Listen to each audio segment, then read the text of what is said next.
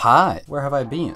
I fought my demons for 3 to 5 business days and I couldn't afford any downtime. Over a year ago, I made a guide on killing tier 2 endermen. Since many of you asked if this still works, I decided to challenge myself once again. Also, some of you are just flat out clueless, even though I made this video over a year ago. Last time I made a guide, most of you focused on my equipment, handsomeness, weapons, cleverness. Anyway, that was not what I wanted. What I wanted to show you is that you're incompetent. Two years ago, I made this video. It got zero views, which is deserved considering the Crystal Hollows dropped 5 days later. Thanks Hypixel. I made a new profile in this video, which we'll use in this one. I worked roughly 2 days on upgrading the bestiary, which could have been an hour if half the islands weren't combat restricted, dungeons were possible early game, and more than one mob would spawn per server for 5 people. Yes, we all know I am talking about the Ice Walkers. This profile has an awful skill average, stats, and everything in general. I will leave the Skycrypt link in the description for nerds and people trying to cope, I just had better stats. Also, if you do have worse stats than this account, bruh. So what do we need for murdering tall black people?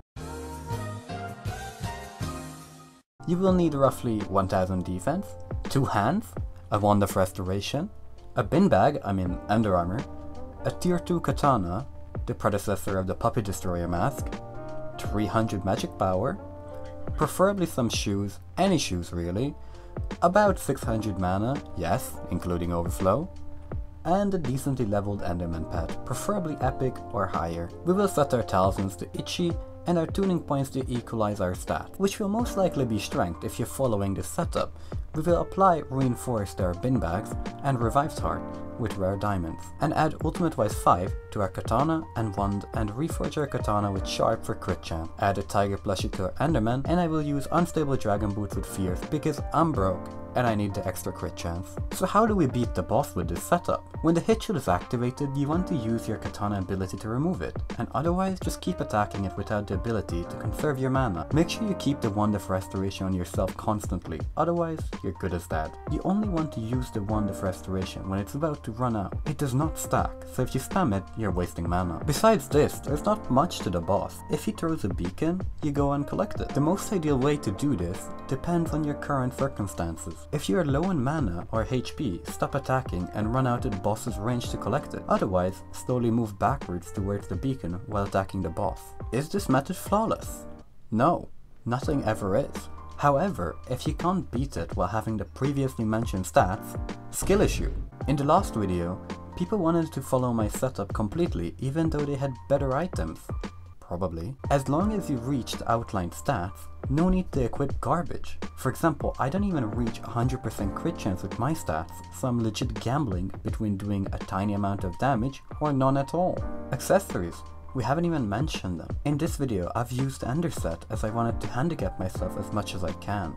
But realistically, you can rob the local dojo for their belt and do drugs with the wizard for his necklace. However, the Enderset is pretty solid, you can stay with them. Especially if you have money to add extra reforges to them, they give quite a bit of stat boost. In my opinion, defense and attack speed are the two most vital stats for NBA Slay. Defense is logarithmic, meaning the more you have, the less it matters. Kinda like felonies. Raising your defense to a 1000 is highly recommended as it gives a 90% damage reduction for a relatively easy task. Attack speed, on the other hand, increases linearly, well, at least until 82. So why do we need attack speed? Imagine you deal 40,000 per hit without it and 30,000 with it.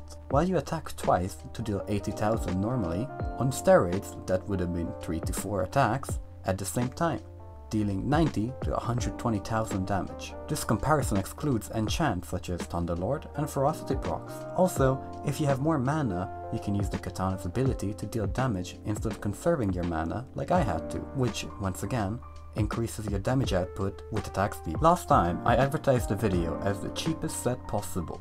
I want to make this one baiting noobs into using my strat.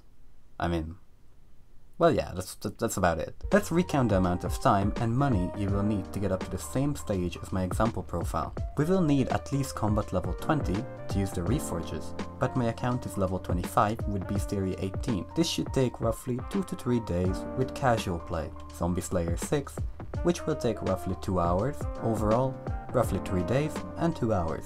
For the equipment, you will need Ender armor and accessories, which are technically free as they can't be bought. 200,000 for unstable dragon boots, 700k for tier 2 katana, 6 mil for a Wand of Restoration, and Revived Heart, a rough estimate of 500,000 for Reforgers, roughly 10 million for every enchant, including enchanting table ones and both Ultimate Wise 5. An epic Enderman pet will cost 500k level 1, and roughly 7 to 10 mil level 60 plus, though I recommend leveling one along with yourself, or if you already have a high level rare Enderman, you can simply upgrade that Kat for roughly 100,000 and 6 days. The tiger plushie will cost 200k, this may vary if Diana isn't elected for a long time. To get enough accessories to reach too much magical power, that will cost roughly 30 to 40 million, making it our biggest expense. Finally, the reforge we use are furballs, which will cost us roughly 1 million to purchase, making our overall setup cost roughly 69 mil. Alright, now we have covered everything, ranging from indirectly attacking people's comments, covering the setup, skillishing half the nons, discussing the strategy, and evaluating the time and money investment this boss requires. That's it from me,